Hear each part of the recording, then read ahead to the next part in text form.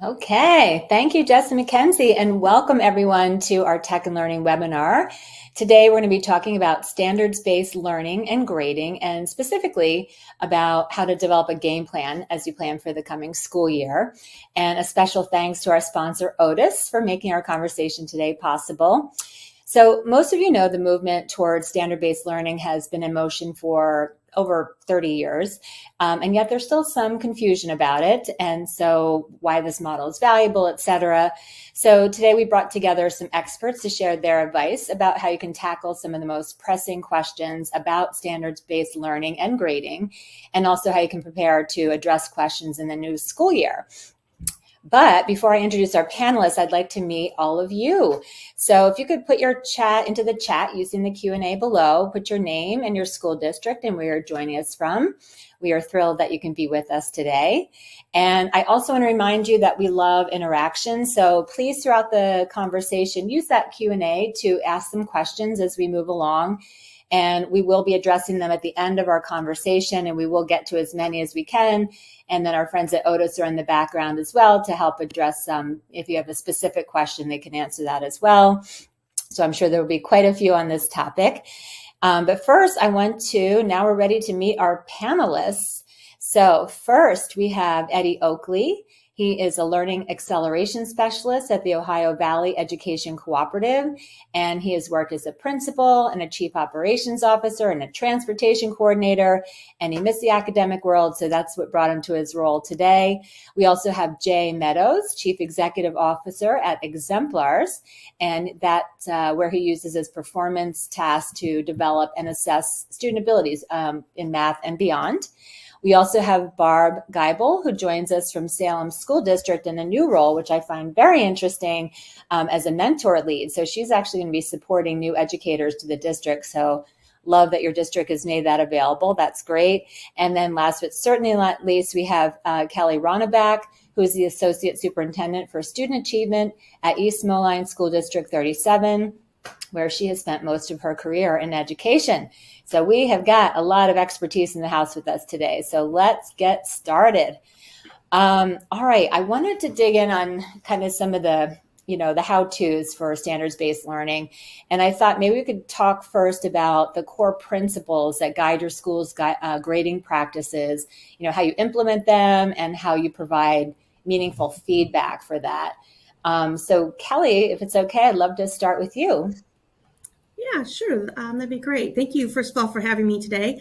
Um, um, about 10 years ago, my district began utilizing um, instructional strategies that focused on um, teaching to state standards and not necessarily to specific a specific textbook or what have you. And as we were making this shift, um, we were creating proficiency scales, essential standards, common assessments, and we just really noticed there was a big disconnect between how we were teaching and how we were grading and reporting to parents.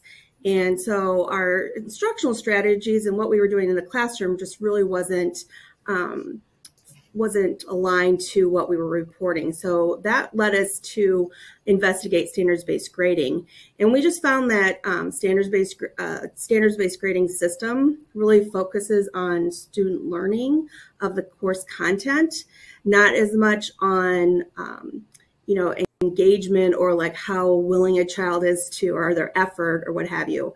And so we we really liked that. We were able to show parents exactly um, where their students were performing as, in relation to a standard rather than their effort and um, our system really aligns more closely with what we're doing in the classroom with our instructional practices and creates a more specific and accurate and more understandable description of what students are doing for not only the parents, but also for children. Um, we utilize scales in our classroom so children know exactly what they have to do in order to, um, you know, meet or exceed. And so I think it just really um, gives clarity um, for everyone involved. Um, and then we're more able to um, communicate that with our parents as well and the parents uh, are so important in this role in this conversation. So I, I love that you have that open line of communication with them. Um, so uh, how about Barb? Let's hear what you're how you're um, addressing this in your district. Hi. Um, well, kind of like Kelly was saying, a lot of it has to go back to our report card that we um, have been using did not align to what we were actually measuring. So then, when it would come time for conferences, um, telling the parents what we were seeing and sharing wasn't reflecting on necessarily on the grade on the report card. So we are in the very um, beginning stages. Last year is when we started to meet as grade levels and go through all of our standards, pick out our essential standards, find the ones that we um, felt were the most important, um, and then started aligning our assessments and um, building a report card from that. And um, we're looking forward to it, very excited because, like you were saying, it didn't match what we were teaching and what we were looking for for their growth. And it will 100% help with the parents and answer a lot of questions up front, just showing right out what their child has mastered, what their child is still struggling at, instead of this obscure report card that they were getting before. Excellent. Thank you. Again, parents in clear line of communication. Um, Jay, you want to talk a little bit about what you're doing in your district?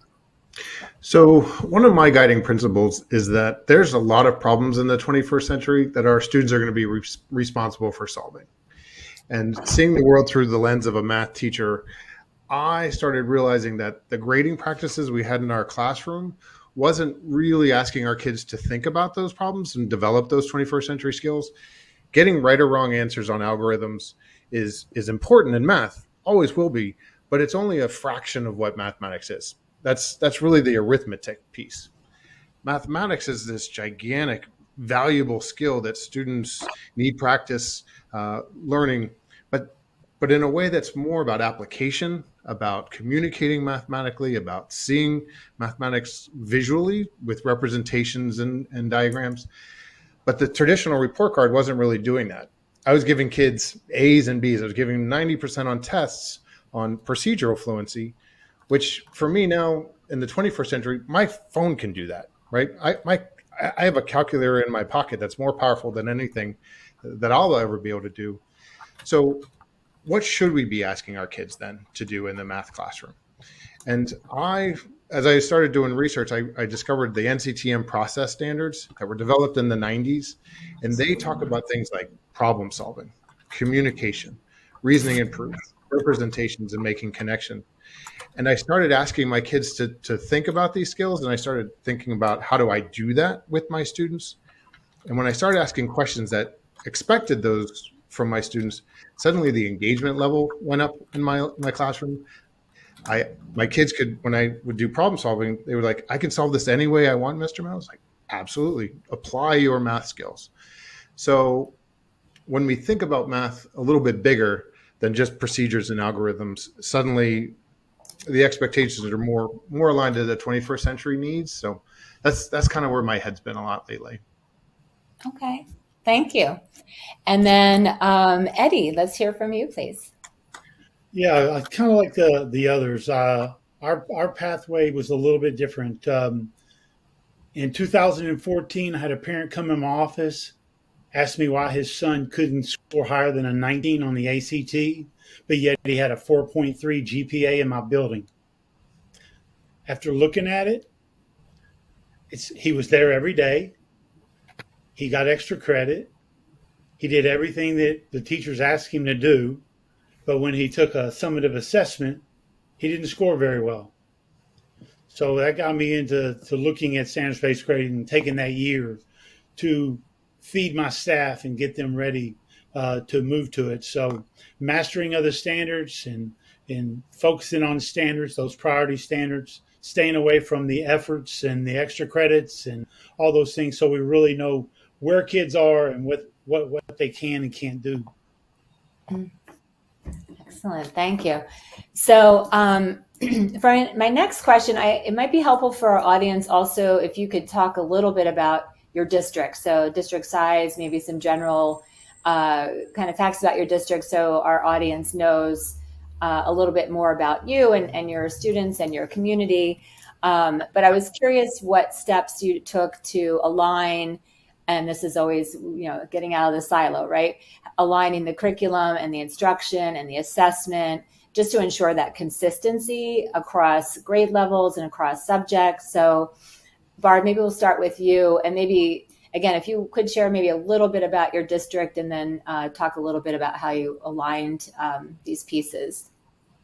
Sure, um, we are a small community. However, um, we have the largest K 8 in the state of Wisconsin.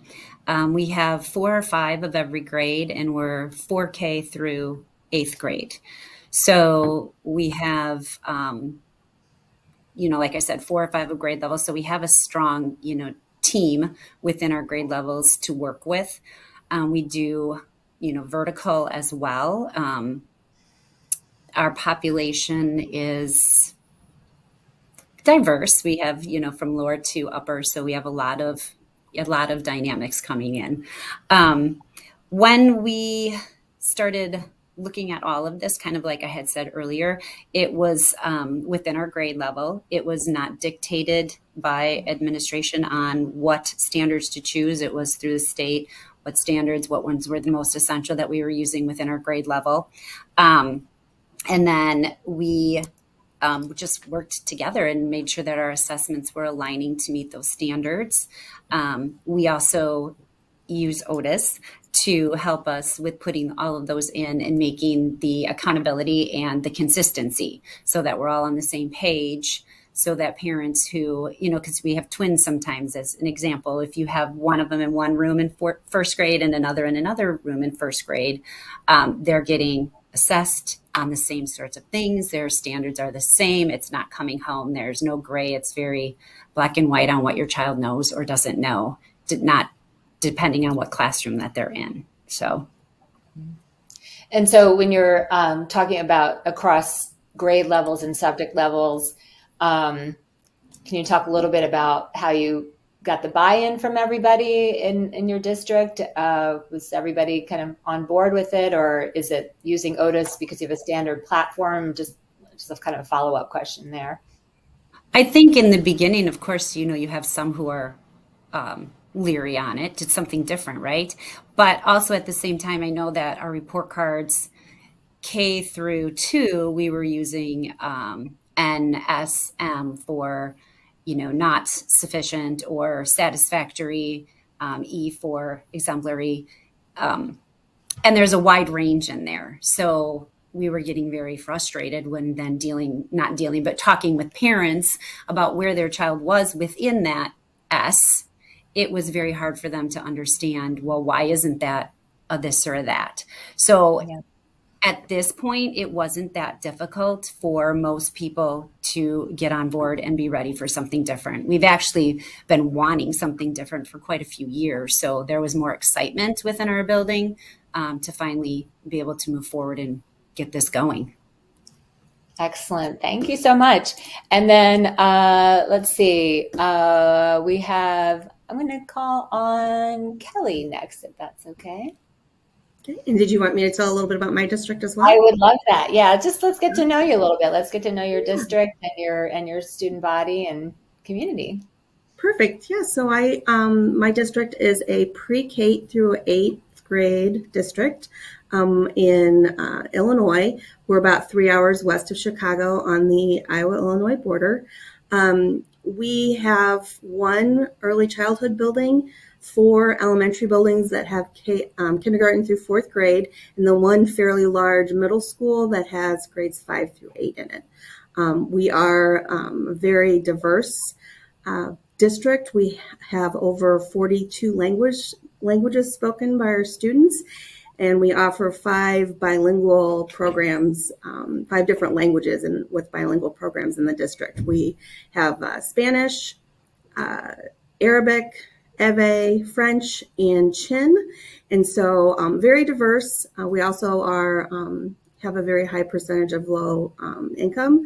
So um, so we, but we're very proud of our diversity, and um, I think that the standards-based grading really helps with um, us being able to give true pictures to parents and teachers and to students, since we do have such a diverse population. Um, but yeah, moving when we moved from traditional grading to standards based grading, it was a big shift. But I think our teachers were really excited about it because they did feel that disconnect between what we were doing with instruction and then having to mesh that into a letter grade was um, very difficult for them. And so actually um, groups of teachers were coming to us at the district level um, wanting to visit that. So we developed a very large um, committee to start with. And we started with learning as a group, just like doing different book studies. Um, what are the possibilities with standards based grading? What is it?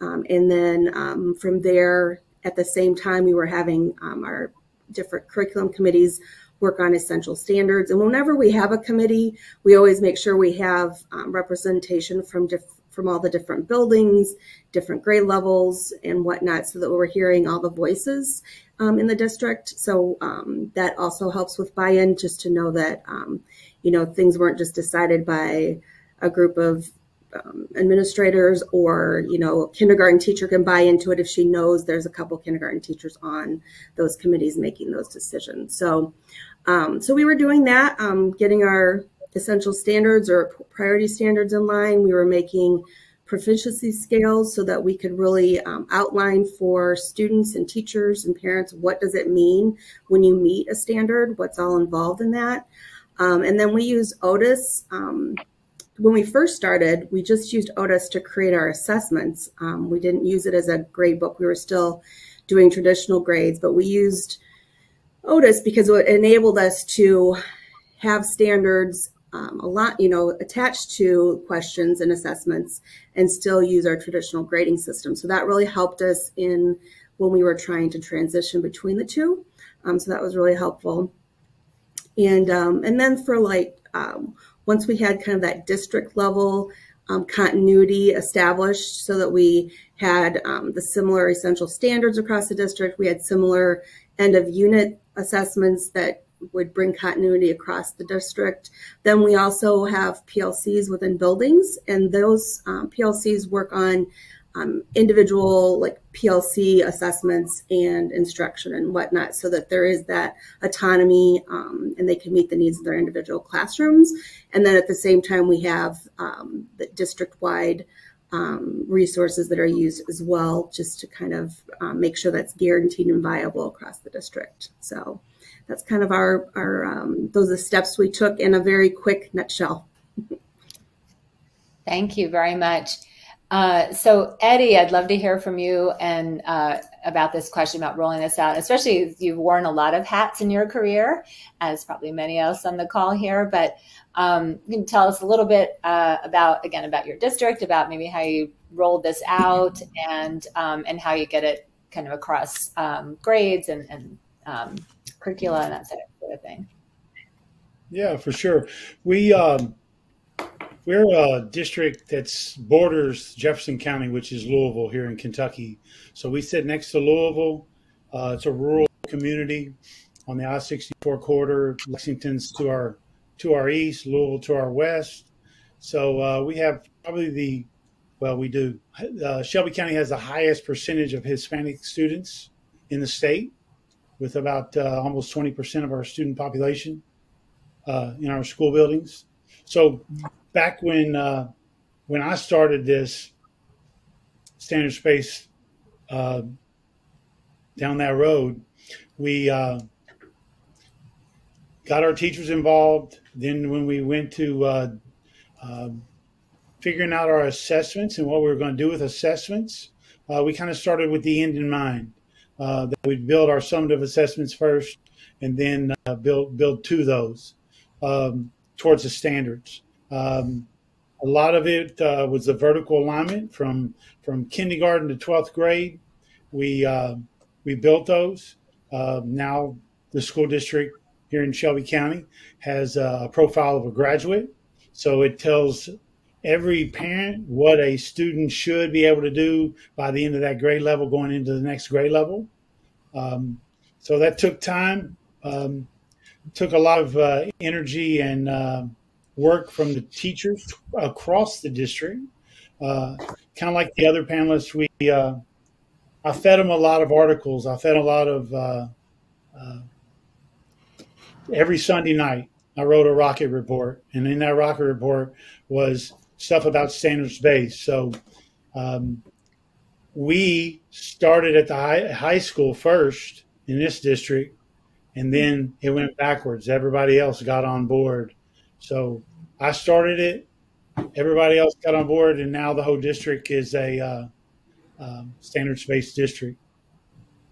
That's fantastic. So you, you built the portrait of a graduate. I, I, could you elaborate a little bit on, on what that is and who was in, involved? And obviously, standardizing everything yeah. seems key to that, right? Yeah, that was um, that was a big committee that had teachers, classified personnel, parents, community members, and if you, I'll give you guys the website. You can go on there and, and read about the um, the profile. But the profile we looked at is there's six um, six pieces to it: global citizen, effective communicator, long uh, lifelong learners, inspired innovators, critical thinkers, and responsible collaborators. And mm. it's in a wheel, and there's a our, our district. This district now, uh, our students at the fifth, the eighth, and the twelfth grade have to do a defenses of learning. Every student that goes to that next transition has to do a defense of learning to see that they're ready to go to the next uh, grade level, whether it be sixth to or fifth to sixth, eighth to ninth, or twelfth to real life in college. I love that. Just having a real clear framework and everybody on the same page there. That's that's fantastic. Thank you so much for sharing that. And then, uh, so Jay, let's hear from you. Um, so tell us a little bit about exemplars. I don't think we uh, got the details about that, and then you can talk a little bit about you know rolling out standards across different grades and curricula. Awesome. So my role with exemplars. Um, we work with schools in 50 states and actually 32 countries. Um, and we've been working for about 30 years on this question of standards based learning. Um, the founder of Exemplars, Dr. Ross Brewer, was good friends with Jay McTighe and Grant Wiggins, and was that's the, my favorite story is he, he was in a cabin with the three of them, sort of dreaming up how do we assess our students' ability to use math in the real world. And they came up with this idea of what if we could use performance assessments to do that. Um, so that's kind of the the origin story, and, and we're very lucky to work with with schools and districts across the country. Um, I love what Eddie said about starting with the assessments, because I think what that helps do is it sets the foundation of what the expectations are going to be for your students, but also for your teachers. Right when the unit assessments have bigger questions than procedural fluency, and again, I'm still thinking about math, but but there's these questions of what does a representation with that particular math concept look like? Can my students use it? What's the language and vocabulary around that topic that my students can can can they use it? Do they understand what it means, but can they actually use it? Of course, the calculations are important, but also this idea of application. Does my student recognize in a real world setting, like, oh, this is that moment for, let's say, procedural fluency or dividing with fractions? Like, do they recognize that real world moment and recognize how to use that skill? So when you when you start with your assessments, you can kind of work backwards, right? You can sort of say, okay, if these are the expectations, the big ideas, how are we going to do that in my classroom? And then that drives a lot of conversations in your PLCs and in your professional development with your teachers. Like, all right, we've got to work on representations. What's that going to look like? Let's break that down for third grade, for fifth grade, for eighth grade. So you, you can drive a lot of really important conversations with teachers around that. What I find really interesting when you do that and you ask kids to start thinking about math beyond just procedural fluency, it actually increases the engagement levels of your students. When mm-hmm. students are sort of given the freedom to sort of say, here's a here's a cool problem, here's it's going to be kind of challenging, but you can solve this any way you want. Students actually have I've been in classrooms the kid goes, I can really solve this any way I want to and the teacher's like, yep, yep, just you, you get the right answer. And then you kind of show me how you got it. Like, oh, okay. You watch the engagement level just spike in the classroom because suddenly there's a freedom in the math classroom that's a little bit different because a lot of times math is kind of linear. We, you're supposed to do A, B, and C. So when you establish those expectations, one of the things that I find is if you can have a consistent set of expectations from kindergarten through high school in mathematics, where you have sort of big ideas that you're going to work on year after year after year, what my research shows is it takes about three years for the kids and the teachers to kind of wrap themselves into these expectations to sort of see the the the, uh, the zenith of the growth. But it takes a while for everybody to sort of wrap their heads around these things. But over time, because the expectations are the same year after year, everybody's sort of bought in everybody sort of sees math in the same way. And and so kids move up to the next grade level and they're like oh yeah okay we're going to do this rich problem solving again. Okay i'm going to have to show my thinking with representations and language. So consistency i think is a key to standards based learning. And as eddie was it takes time. It, you you need to spend time with your teachers and your and your communities to sort of think about this stuff. Um, it, it's it's a but it's a powerful journey. And I, and I what i love is that we see test scores end of the year test scores grow dramatically when we ask kids to go beyond just procedural fluency in the math classroom. They they can solve any problem you put in front of them. So these higher expectations lead to higher results but it does it takes time. So would you say that it's that student agency that's driving those higher scores ultimately because of the increased engagement I love that that idea of student agency. Quite often in a math classroom, a teacher will be will recognize there's a procedure that I need my kids to learn at the end of the unit. And so they get to that procedure really quickly in the math classroom. And they're like, okay, I'm going to teach you the procedure and we're going to practice it.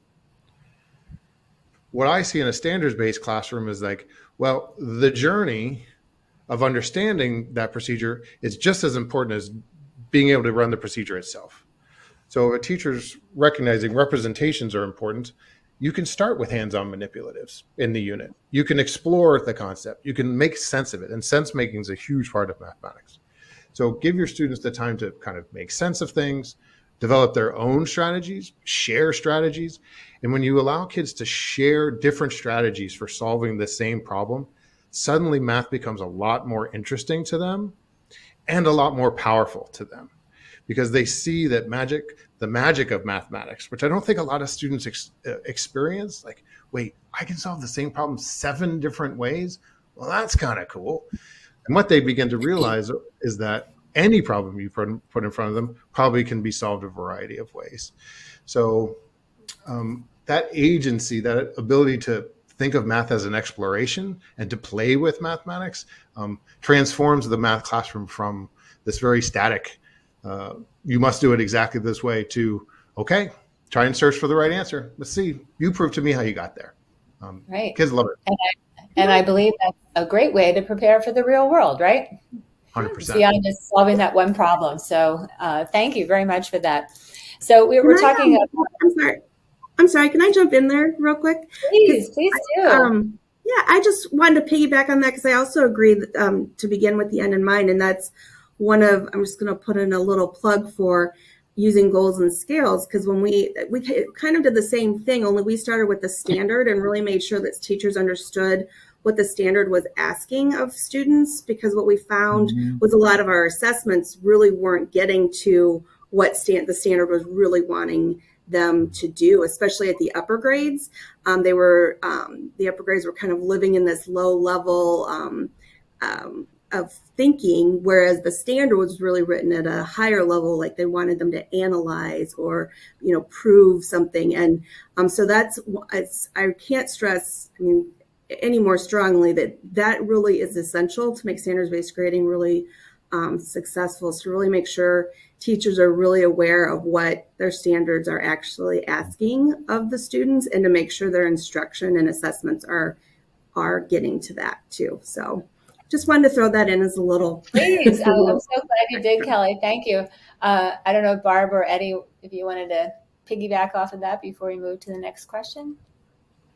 The only the only thing that I would say, um, and I agree with everything that that each of those folks said, but um, one of the things that I, I strive to do in our building was when we looked at the the assessments, making sure that they were rigorous enough and the instruction was rigorous mm-hmm. enough But what I always told my teachers and my kids was, we are going to make the practice harder than the game. Mm-hmm. So mm. when we go and we the instruction, the the formative and summatives, we want to make them harder than when you go take the ACT. That that wow, I've seen this. I know mm-hmm. it. I can do this. So it's kind of our philosophy of making the practice harder than the game. Mm-hmm. Yeah, oh, I like that. You must be a coach, Eddie, because that's that's the, one of those great coaching philosophies, right? It's like that practice that, the game's going to be easy after you finish my practices. So, and, right. and math can be, yeah. and learning can be the, exactly the same way. I uh, I did dabble in some coaching uh, mm-hmm. earlier in my my career. Some mm-hmm. try to be a basketball coach, just like everybody else in Kentucky. I love it. So we've been talking a lot about you know parents and communicating. So I, I wanted to maybe dig in a little bit more on that. So specifically how are you communicating say the learning expectations the grading policies to, we talked about students i think i'm loving hearing that the students are involved in this and that there is this agency and, and that increases the engagement i i have heard a lot parents just saying why you know just there's so when i was in school we got we were graded this way so you know how do you kind of communicate that and you know are there tools and strategies? I'd love to dig into any nuts and bolts you can share, even maybe even examples. Um, Eddie, maybe we'll we'll start with you uh, if that's okay. Yeah, no problem. Yeah, we uh, we started our this process by first with the staff, getting the staff on board, and then once we got to a point, then we got it out to to families, and we used uh, you know I wrote I wrote letters home to families, and some of the stuff that you've already talked about about you know when i was in school uh, it was 50 60 70 80 you know as a percentage. But my question to those parents was so tell me what what that 70 or that 80 percent tell me what that meant. And they they couldn't tell me what it meant you know with standards based their students can tell them what it means because they they know when, when they've mastered uh, a standard or so forth. So, you know, again, that's been uh, ten years ago.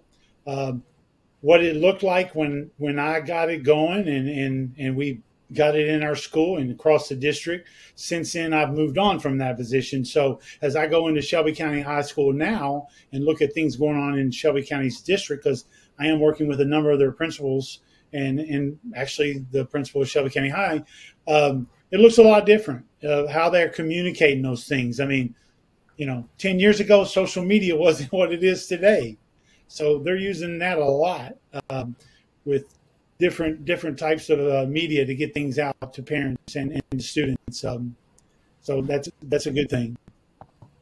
And it sounds like the students have been helping in this process, but just by bringing it home and explaining to their parents, this is what this means, this is what I've gotten out of it. I mean, what better yeah. communication tool than your own child? right. Um, and the big thing is with the with the kids. Um, in the last five, four, five, six years since we uh, developed and come up with the profile of a graduate, I mean, one of those skills is, you know, effective communicator. And our students in Shelby County, um, they can stand up in front of a crowd and and, and talk to a, a group of uh, panelists like this and and explain and talk to them about you know their learning and, and why they're ready to move on to the next level or next grade or on to college or, or career. Excellent, thank you. And and Barb, maybe we can hear from you. I, I, and I know you're new in this role of this this mentor role, which I'm fascinated uh, uh, what that entails. But so from your new lens, and I know this is very new, but um, kind of maybe where are you in that process and any sort of tips or strategies that you've been using um, to help communicate this to parents and school communities in general?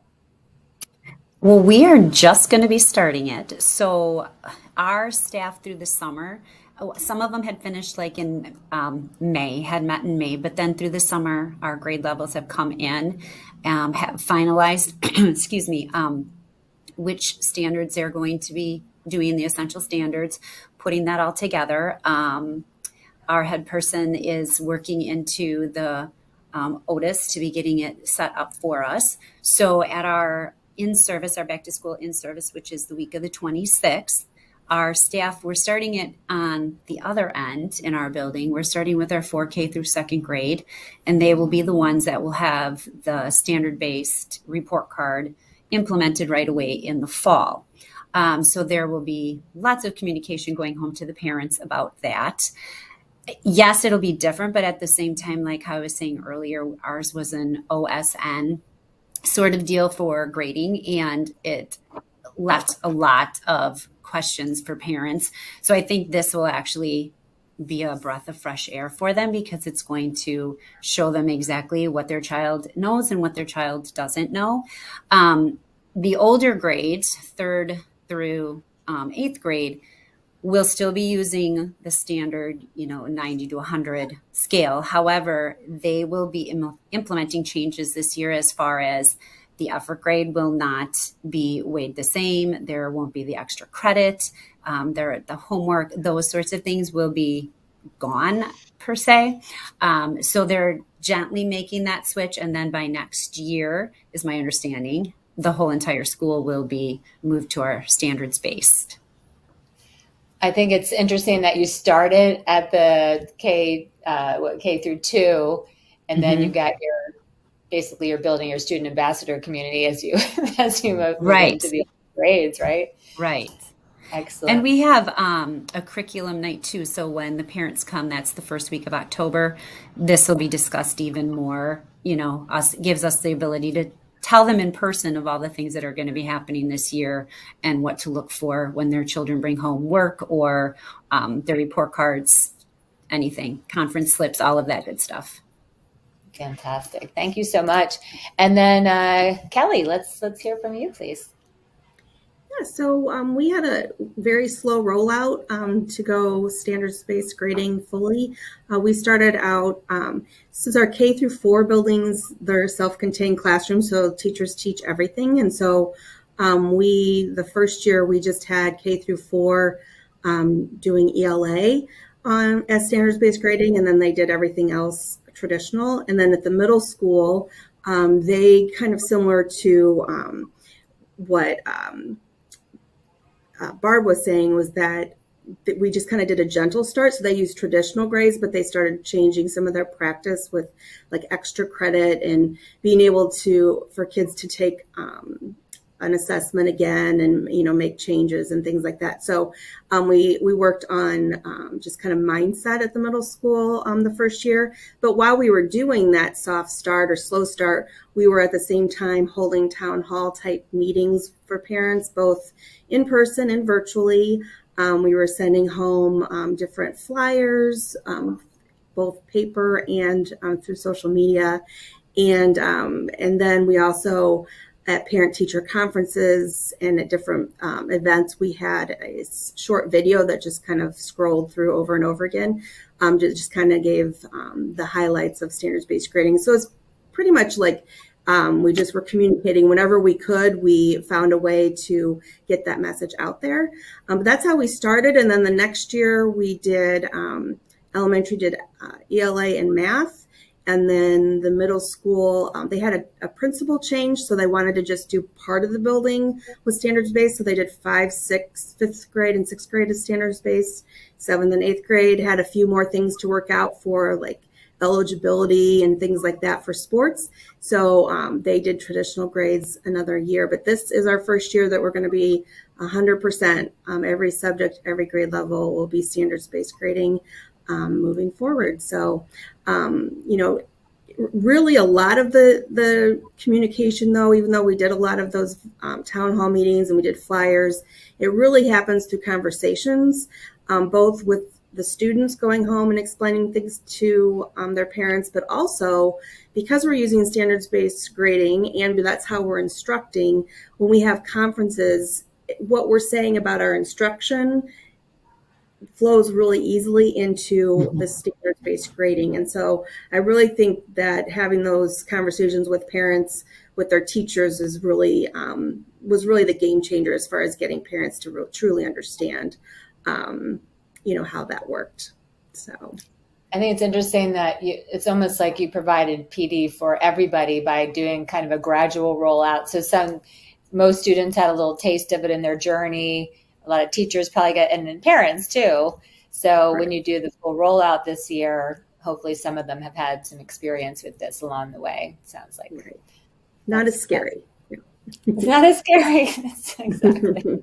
Because change is scary, right? uh, change is yeah, change is good. Mm-hmm. Change can be scary, absolutely. This uh, so I really appreciate everybody's advice, and uh, again, please keep your questions uh, coming in. I know um, we're we're addressing some, but we can get to um, as many as we can. We still have some time left. Um, but I did want to say thank you uh, to all our panelists. We'll be hearing from them in a second. Um, but I also wanted to introduce Kendall Hunter from Otus um, to kind of share a little bit about how they're helping to support schools with standards based learning a little more specifically. So, uh, Kendall, if you want to take it away. Yeah, let's do it. Well, thank you so much uh, for the introduction there and letting me sit in on the conversation. Uh, as Christine introduced, I'm Kendall Hunter. I'm the product marketing manager at Otus. Uh, I joined the team actually straight out of the school setting about five years ago. Uh, similar to our panel here, I'm a former educator, middle school special education teacher, and reading specialist. Uh, so I'm excited to be here to just tell you a little bit more about Otus. Uh, before I do that, I want to acknowledge the panelists for really just sharing such valuable insights around standards based grading, especially heading into a new school year. I think that why behind it is really just the North Star for the year ahead. So I appreciate all the insights that have been shared uh, thus far. Uh, but in terms of Otus, I'm just going to share a couple things with you today, show you some of my, or tell you about a few of my favorite features. Uh, if you have not heard of Otus, we are a K 12 student data and assessment solution that really helps schools to track and communicate student progress towards learning standards. So there's three features that I'm just going to call out as must-haves for standards-based grading, and I did use standards-based grading with my middle schoolers. So these are the features I actually did use and would use now if I was still in the classroom. Uh, but first, flexibility is key. So uh, in Otus, you can use any learning standards, whether that be your state's Common Core, NGSS, or even homegrown district created standards. We do see that a lot. All of those can be brought into Otus so that you can measure student learning using the language that you use with your students. Uh, you can link those standards to assessment questions to really determine what students know and don't know. Uh, we offer thousands of pre-created assessments that are already aligned to standards that can sometimes help you to get started. One example of that would be the Exemplars Math Performance Test that you heard a little bit from Jay about earlier, uh, but you can definitely build your own as well. Uh, I love a rubric when it comes to standards-based grading, and our rubrics are really the perfect pair for this grading method because you can outline your look-fors and really help students and yourself identify uh, and see where they're at in relation to the standard. So maybe I still need to grow a bit more on this particular standard, but I've mastered this standard. Rubrics are great for that. And especially as we were talking a bit about uh, kind of that rollout, rubrics can be used with any content area or grade level. So it's really that common language. Students can submit artifacts to a rubric for you to assess as an educator, like a Google Doc, or if you're an early elementary uh, teacher, I love rubrics for ob- observations.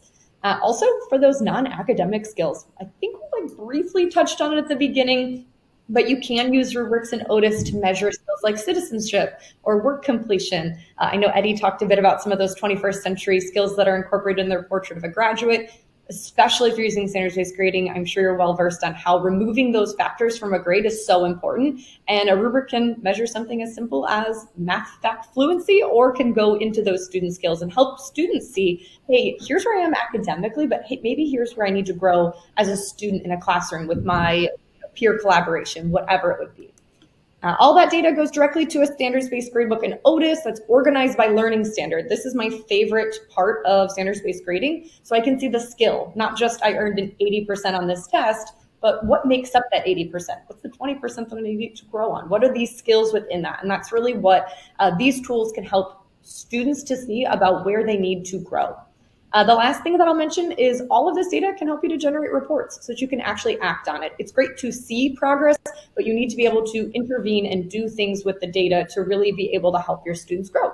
Uh, so whether you want to look at one summative assessment or maybe a number of formatives that targeted the same standards, you can do that in Otus in real time and create groups for reteaching. So you can say, hey, this group of kids is going to move past this content. They've mastered it. And maybe this group is going to work with me in small group tomorrow. So it's really giving you the tools that you need to see where kids are at and then support them. Uh, and as we've talked about the end there, that family piece is just so important. Having a streamlined tool to be able to unite around that language, where we go to see that, and what that looks like can certainly help uh, with the implementation of things like standards based grading. Uh, but that was really just a couple things I like about Otus and I think are worthwhile to the conversation today. If you'd like to get in touch with us, we're at otus.com. So definitely uh, check out some of our other tools, including standards based grading tools. And I did put some free resources in the content section of your council. So if you're looking for uh, some free downloads to bring back to the team, definitely check those out. But I know we have some questions to answer. I saw some really good engagement and questions coming in. So I'm excited to hear what the panel thinks. So I'll hand it off uh, to Christine for some Q and A uh, during the remaining time here. Yeah, and Kendall, can you hang on with us so that uh, I might address a question or two to you? So thank you sure. for that. And uh, yeah, reminder that the handouts are there and also that this recording will be available. So if you have colleagues you want to share this with, um, please do. You'll be getting the link um, in your email probably by tomorrow. Uh, one question, and we've got a bunch of questions. This is great. Um, and I'm not sure where to direct this first, but a question came in that can standards-based grading be implemented at a high school? Well, obviously it can be implemented, but um, without impacting the college admission process. I know that's a question I've heard about. And Eddie, I see you're nodding, so may, may I start with you? Sure. Uh, yeah. One of the things, and I'm sorry, Kendall, this is not going to be a commercial for you because uh, in the state of Kentucky, um, every school in the state of Kentucky uses Infinite Campus as our grade book. Um, so we had to work with Infinite Campus to get our grade book fixed to where we could put the standards in there and the grading scales in there. So uh, uh, here in Shelbyville, in Shelby County, it's a zero to four scale. Um, and then, of course, that converts. Uh, so, like an A would be 3.4 to 4.0 is a is a 4.0 on the on the scale. So when you look at a transcript from Shelby County Schools, all you're going to see on there is their class and what their GPA was for that class, and then the overall GPA for for their high school career. So we've not had any any issues at all with um, with colleges and universities accepting our kids. Excellent. And I know uh, Kelly and Barb are a little newer to it, so actually maybe I'll toss it to Kendall if that's okay, because I'm sure you've heard case study examples um, that address this question. We, would you mind kind of sharing any insight for the question, please?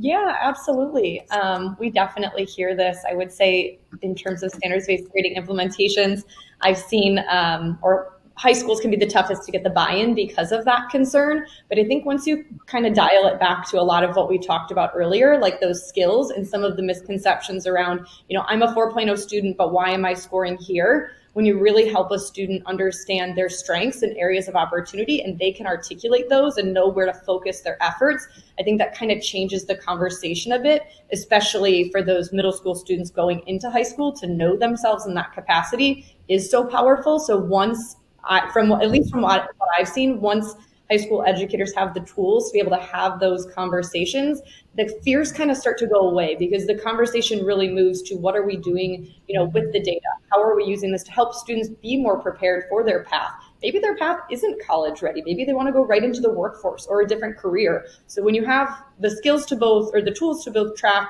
you know, different competencies, whatever those may be, and figure out where to focus your efforts, students have more control over their learning. And I think ultimately those types of conversations kind of start to shift rather than like, will you get into college? We talk about where we need to grow, where we need to focus, where we need to dial in so that we can get to where we need to go afterwards.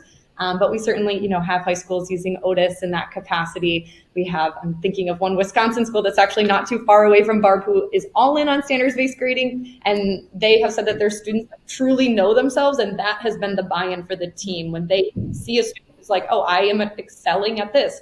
I need to work on this. I'm not great when it comes to my peer collaboration. Or I don't like group projects. Like hearing those conversations kind of, I guess, eases some of the fears or concerns, and additionally, seeing students go on from that grading model to college and proving that they can get in and having you know a certain uh, graduation rate and all of that uh, is good data validation for parents who are worried if their kids are not going to get into a school.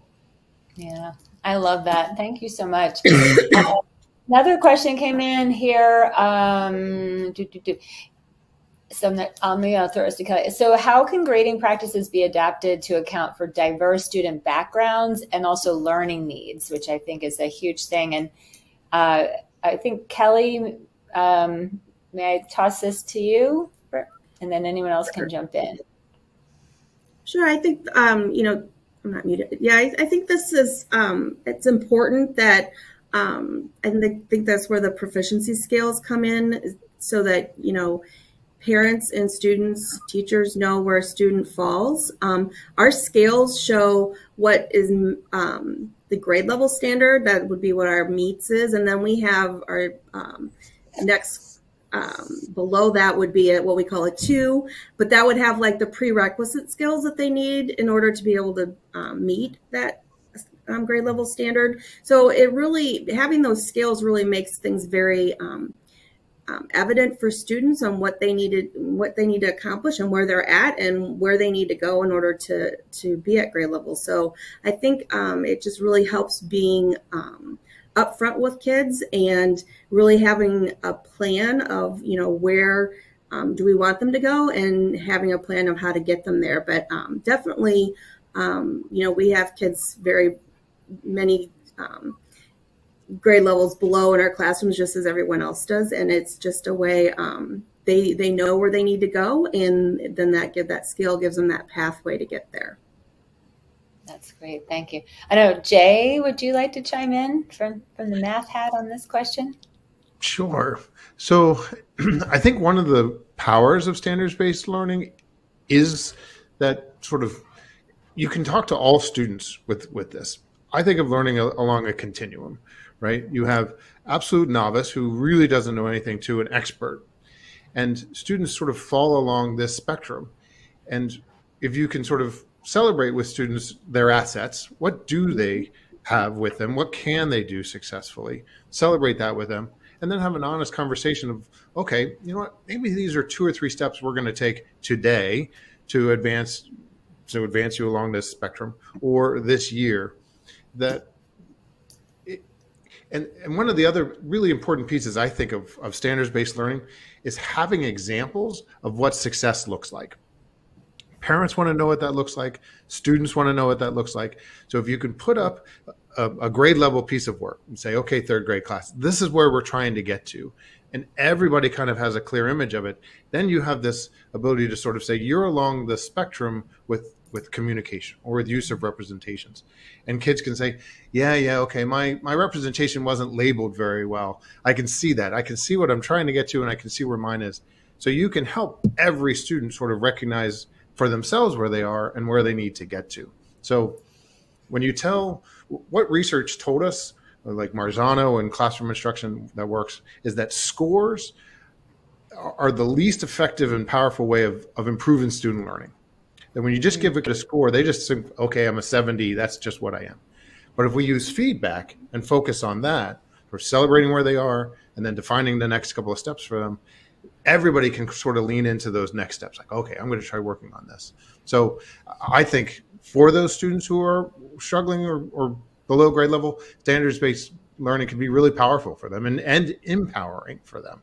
Mm-hmm. Yeah, and I think it can go in, uh, another way too. Um, it doesn't really address the question, but it it is also having those scales. We also have an exceeds um, section too. Yeah. So we have a lot of students in in a classroom that are that meet the standard very early or come in already knowing it and so we have a clear path on okay what do we do with those kids to challenge them beyond um, the standard because um, sometimes we kind of forget about those kiddos. So we, we you know, I think um, standards-based grading is a really great um, strategy, great way of making a classroom feel like all kids belong and kind of gives them a roadmap for how to be successful. Kelly, if I can piggyback, I love what you just said. An expert for me in mathematics is a student who can solve the same problem multiple different ways A mm. kid gets the right answer, you're like, great, you solved it. Can you solve it another way? It's a nice way to sort of just push that kid in to stay in the classroom, to stay with the rest of the students. Solve it another way. Think of another representation. Um, it really challenges them to uh, to think flexibly. From a tracking standpoint of that too, I would also just add it's so important to communicate where students are at mastery of like which standards they are at mastery of and then which ones they need to grow on. So Jay, I know you gave that math example, you know, with a clear scale, you might say that a student is at a two, meaning they've mastered this but haven't mastered this. Well, with standards-based grading, you can also identify that other standard. Maybe you're in a fifth grade class, but that's a fourth grade standard that they have mastered. Being able to communicate that as well and not being just locked into hey, this week we're working on RL 5.1. This is the only standard that's being measured. Having the flexibility to say, you know, these students are working on the fifth grade standards in a fifth grade class, but maybe I have a group that's working on a lower level text or they're meeting the fifth grade standard with accommodations. The flexibility to both, you know, extend up or down standards wise and then give comments on um, you know, on the grade level standard why a student isn't there, in addition to having that clear grading scale that uh, Kelly talked a bit about having that extra context, like they're meeting at fourth grade, but they're you know below grade level on the fifth grade standard. So I think that really gives families a good understanding too. Like here's where we are seeing seeing success, but here here's the parts where we need to grow. So we're going to keep building on this standard so that they can get to the next standard. And it's really just a communication piece. But if you have the right tools that allow you to kind of flexibly work with your standards is less um, daunting. I think I know when I was a teacher, everyone was like, "How can we track four different grade levels of standards in one role? I'm one teacher." But it's like that becomes more less of a concern and more of just like a data entry thing if you have the right tools that allow you to kind of level up and level down for your students. Thank you. And uh, I don't know if, uh, let's see, if Barb or Eddie wants to chime in on this. We have so many questions. We're out of time. uh, I don't know, Barb or, or uh, Eddie, you want to chime in with this question about just using uh, standards based for kind of helping all students? I just think when I was in the classroom, I was um, early elementary, so first grade, second grade, and just how, I mean, they're goal driven already, and they like to see that they've succeeded in something. So, I mean, this kind of just naturally falls in line with the way that they are. I think as they've gotten older, it's you know it's changed a little bit, but um, something as basic as you know their their sight words or something, it's right there in front of them. It's laid out. They know what they've you know excelled at, where they need to work, um, and then you help them get there. So I feel like you know starting at the young age is pretty pretty easy for you know for them and then to continue to grow it's the way that they've been thinking the whole time Excellent. Eddie, did you want to add anything? I think I think they've said it well. Okay, great. So uh, we are out of time, friends. I and I'm sorry we didn't get to everybody's questions. I know that um, our friends at Otus do have access to those questions, and they can address um, any specific questions you might have. Um, and again, this recording will be made available within a day or two. Uh, so thank you, thank you so much for this panel discussion. It was incredible. Thank you to Otus for making this conversation possible, and thank you to all of you uh, for spending your time with us today and for sharing your questions and your feedback. We really appreciate that. Uh, and now it's time to announce the winner of our $250 Amazon card. So drum roll, please. Our winner is Amber Sherrick from Ohio. So, congratulations, Amber. And thanks to you all for joining us once again. And we look forward to seeing you at the next Tech and Learning webinar. Have a great day.